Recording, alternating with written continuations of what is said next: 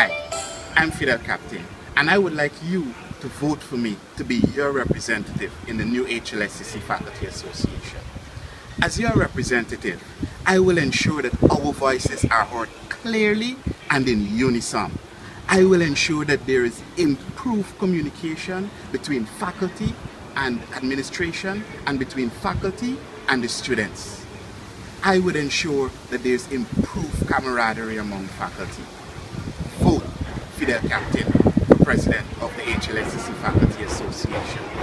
Vote for efficiency, reliability and education. Vote for Fidel Captain.